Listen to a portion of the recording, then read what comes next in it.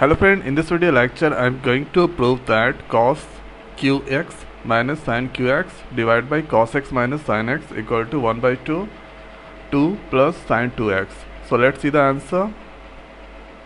So here I am going to take the LHS part that stand for left hand side. So on the left hand side cos cube x minus sin cube x divided by cos x minus sin x. So here the this problem is based on a cube minus b cube formula.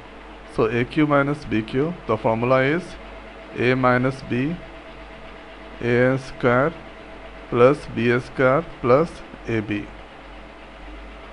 so we need to break this one. So a minus b suppose this one is a here b. Q is there q q minus between. So a minus b that is cos x minus sin x. Now a square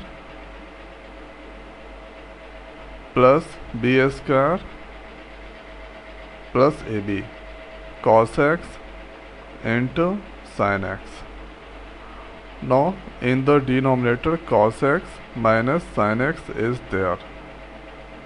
So this term this term is the same it cancel. Now sin square x plus cos square x the value is 1 so here 1 sin x cos x that return. But our intention is to make 1 plus 2 sin 2x so 1 by 2 then I'm going to multiply 1 by 2 with numerator and denominator. So here we can write 1 plus sin x into cos x. So if this multiply this will cancel. Nothing uh, will affected now this 2 I'm going to multiply this. So 1 by 2 here 2 plus 2 sin x into cos x. Now 2 sin x into cos x the value is sin 2x so we can write 2 plus sin 2x so here 1 by 2 2 plus sin 2x it's come. So we can write LHS equal to RHS equal to proved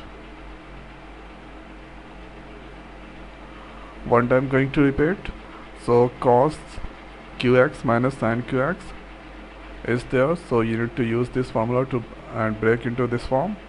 Here after this cancel sin square x plus cos square x.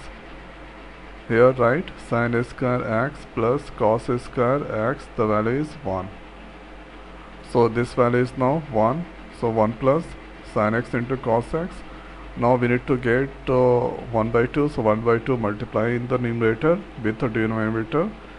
And this multiply with this 2 after that 2 plus 2 sin 2x into cos 2x that is sin 2x and uh, here on the since here write 2 sin x into cos x. The value is sin 2x after that you can easily prove. So i hope guys this video is helpful for you. So now in this video it's over. So thanks for watching. See you next video. Thank you